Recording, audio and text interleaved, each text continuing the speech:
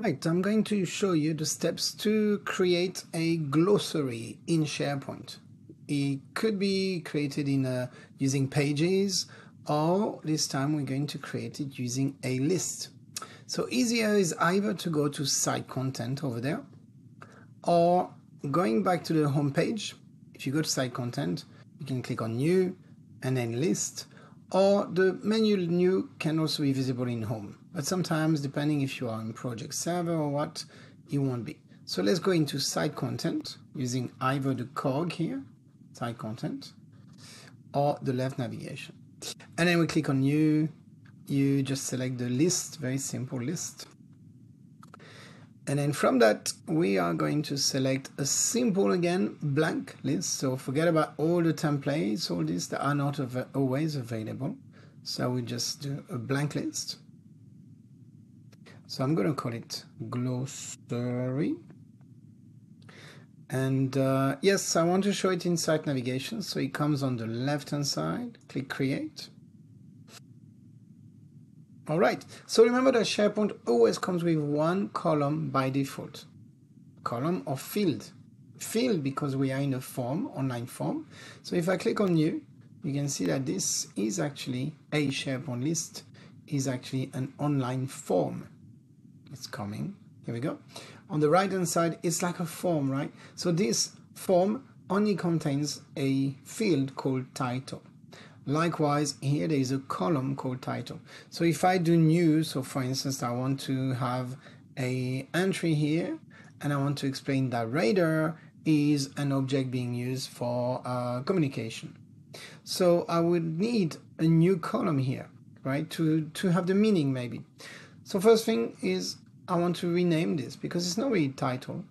So let's go to column settings, then rename, and I want to call it term or term name or what did, what is I have? Entry actually. Maybe it's an entry that I want to I want to list. So we, we will have lots of entries here. But then the next thing is as I said add a column. And this column we want to have it as text. Maybe we want to have it as multiple line so there's a slight um, option that we will use for multiple lines to make sure that it's text only that we don't have uh, advanced rich text because otherwise it's not going to be very pretty. So here I want to have uh, explanation or meaning. That would be the name of my second column or field, right? It's multiple line. And that should be all and we save, but let's have a look at more option. I want to make sure that it's not enhanced rich and the rest is all perfect. Do we want to require it? Well, yes, because if it is a glossary, we always want to have an entry and we always want to have a description. But if you think that this description will be coming later, at a later stage, and for now you just want to list all the entries, then you may say, okay, it's not required, because otherwise you won't be able to save if there is no entry next to it. So that's it. And now let's um, already go ahead and add a few. So I'm going to um, add some examples here of glossary. Okay, and to do that, I'm going to not click on new because new we will have to do it one by one, but I'm going to click on edit in grid view. And I really like it because it will use switch into what we could almost call a similar, like a, a simple version of Excel. And look, the advantage with this is that I can just add some entry very quickly that I copy and paste from a different uh, list I have and now I have my entry and I can just start typing my explanation as well. Okay, super fast. Okay, so again, I'm going to type some entries here. Here we go. And now we have our glossary. Just have to exit the grid view. And now you're back to this. So now imagine that all these glossaries is good enough, right? That will do the job. Uh, I could even have some formatting, for instance. So think that the the view itself can be formatted or even the column can be formatted. But I'm going to add something else here. I want to add a column because I'm thinking, well, a lot of these terms have a category in common. So let's do that. Add. I'm going to add a, uh, maybe a choice, in fact. You see why. And then here I'm going to say maybe category or maybe software, depending on your glossary really, or maybe industry, something like this. And then here, I just add quickly some entries. Okay, so I've, I've been adding some entries. Maybe I put gold with gold, yeah. Silver, is there anything silver? Here we go. And then bronze might be a little bit like this. Okay, let's see why. Why did I do that? Save it. Now, of course, we need to add some entries. So here, because it's a choice, we can just select, very simple.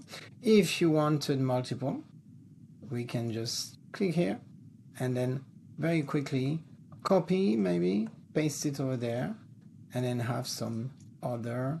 So I'm going to put voluntarily just one gold two silvers and then lots of bronze.